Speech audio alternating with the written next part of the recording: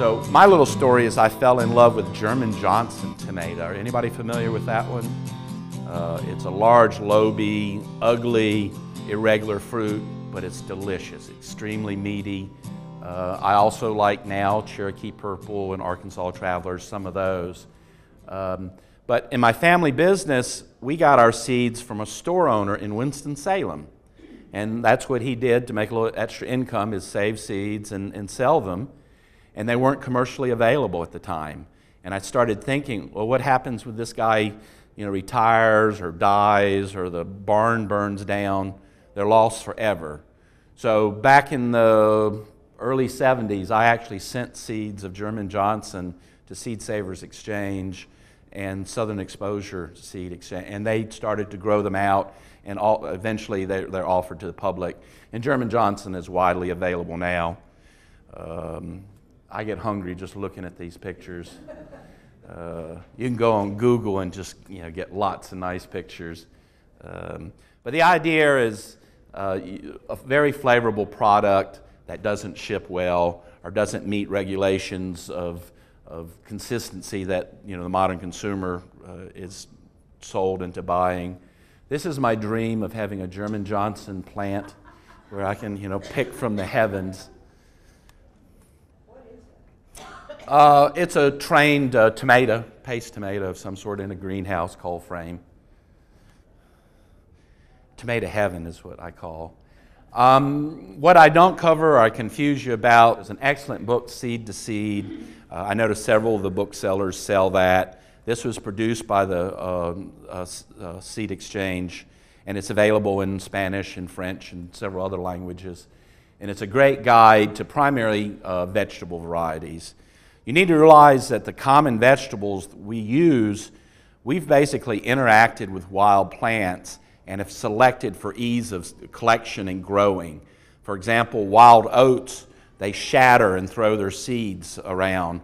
They also have a, um, an awl that will effectively drill the seed into the ground. Humidity changes cause the, the little awl. And our breeders have selected for non shattering so that we can collect them, and also uh, awlless so they're easy to clean.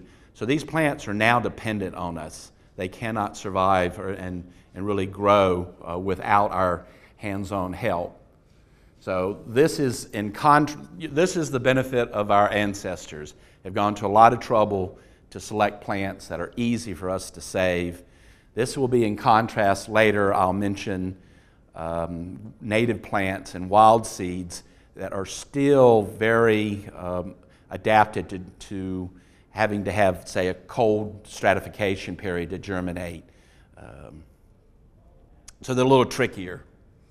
So uh, I'll just throw in, these are a little small and unreadable, but you need to learn 20 or 30 terms. Uh, these are uh, flower and inflorescent types. It's important you know how to identify the plant and when it's in flower. Um, in botany, we classify plants into families that have similar fruit types. So um, once you know uh, there's several things. You can identify your plants uh, by flower, and by knowing the type of inflorescence, um, you know which seeds mature first and which aren't uh, mature yet. Basically, spikes, the lower flowers come out first. Those seeds are ripe the earliest, whereas you go up, you get younger and younger. So, some of this is a call to when do you collect, uh, what percentage are ripe when you collect. So you need to get a little botany book to, to learn some terms. Um, these are showing different fruit types. There's some fruit types that are basically dry. Um, when they're mature, they, they change color. A lot of them are in capsules that the seed uh, will split their natural lines where they're, like, for example, beans or, or legumes will split and try to spread. Um, uh, the dry fruits are very easy to save. You basically notice a, a color change uh, and you can start collecting. The fleshy fruit are a little bit more difficult because that flesh needs to be removed from the seeds.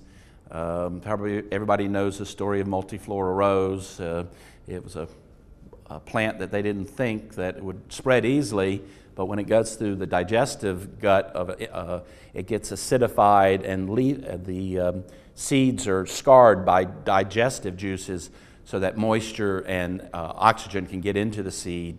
So basically, wherever the birds then poop, you've got uh, multiflora.